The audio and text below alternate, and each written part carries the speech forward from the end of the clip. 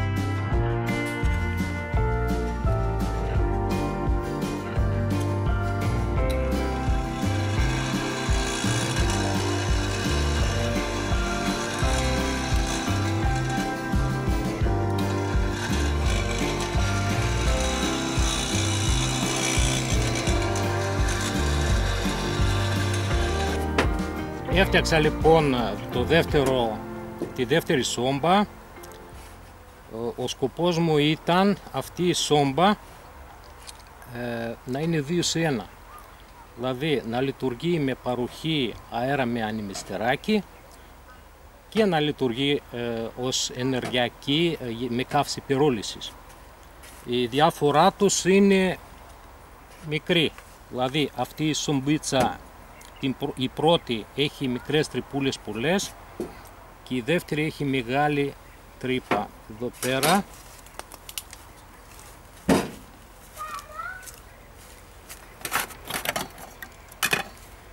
Που την, ε, που την χρειαζόμαστε για παροχή αέρα.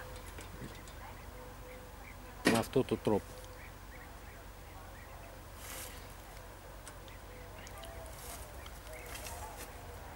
ανεμιστηράκι μπορείτε να βρείτε από ένα ανεμιστήρα για ψήσιμο. Να προσέχετε όμως ότι είναι δυνατό, αρκετά δυνατό.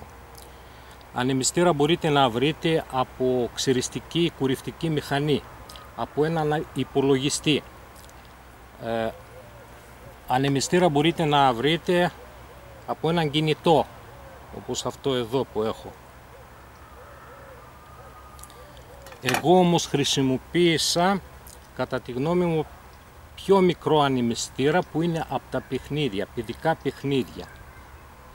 Το έβαλα εδώ μέσα, στο βίντεο το αρκετά λεπτομερώς τα δείχνω, μπορείτε να το κάνετε κι εσείς. Και σωληνάκι είναι από ένα αλουμινίου παγούρι για τα παιδιά που είναι για τα σχολεία.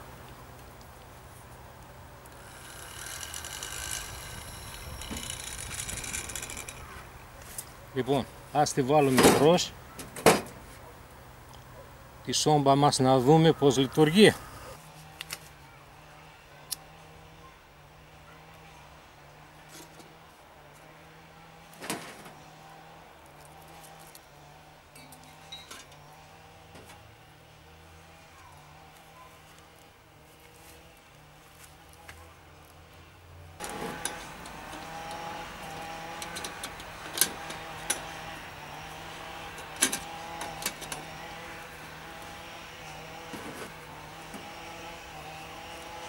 Βάση είναι στα ηλεκτρονικά είδη για δύο μπαταρίες με διακόπτη.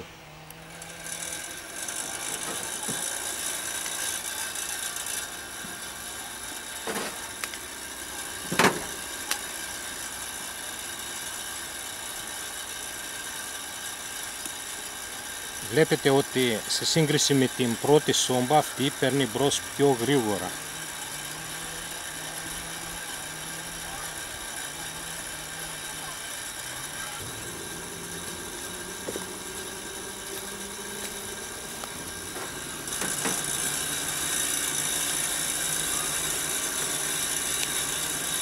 Τι θα γίνει αν θα βάλουμε ένα μοτεράκι πιο δυνατό; Για να δούμε.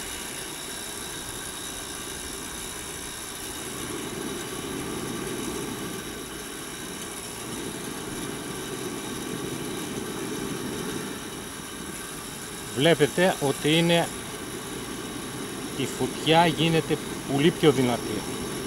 Πολλές φορές δεν τη χρειαζόμαστε τόσο δυνατή φωτιά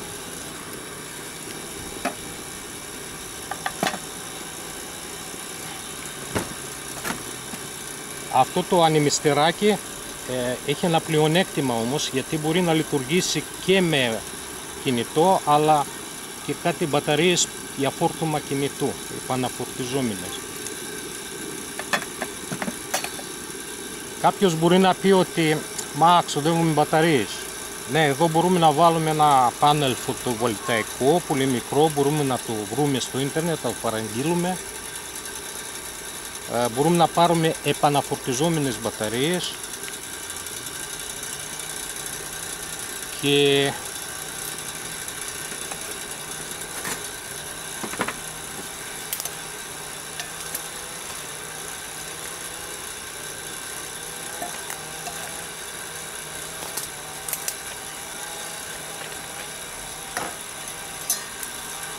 να βάλουμε λίγο νεράκι να βράσουν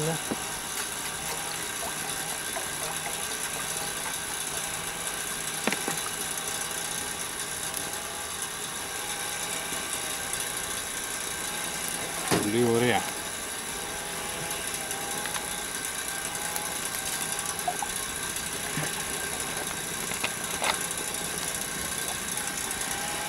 Μπορούμε να βάλουμε ξύλα χωρίς να ανοίξουμε καπάκι εδώ εύκολο είναι.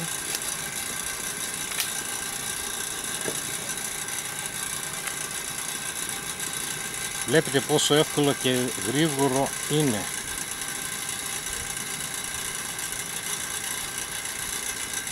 Μετά από κάποια χρήση της πρώτης σόμπας παρατήρησα ότι μετά από δύο ώρες περίπου που έκανα τα ψάρια και κάποια άλλα πράγματα μαγείρευα στο σπίτι άρχισε να μειώνει η απόδοσή της, άρχισε να βουλώνουν οι τρυπούλες.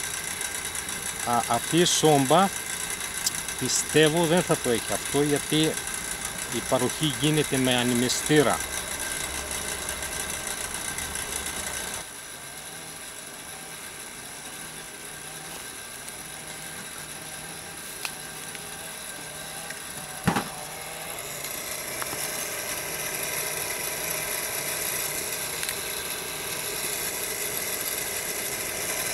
Αχ, δεν έβαλα πάλι ρολόι, δεν πειράζει. Πέρασαν περίπου 3-4 λεπτά.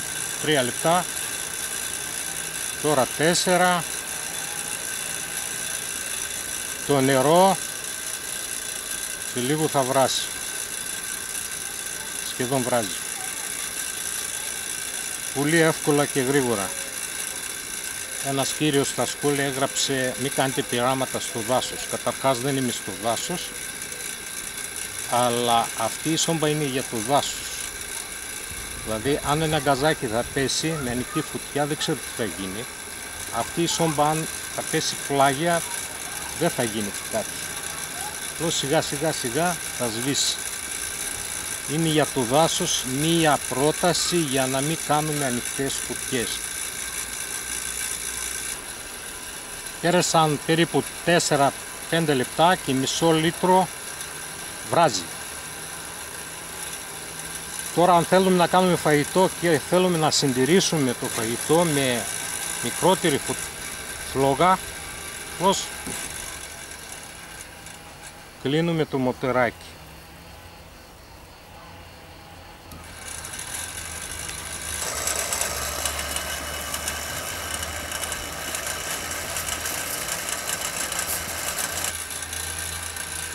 Αυτό ήταν το βίντεο σήμερα, μια δεύτερη σόμπα με παροχή αέρα με ανεμιστήρα.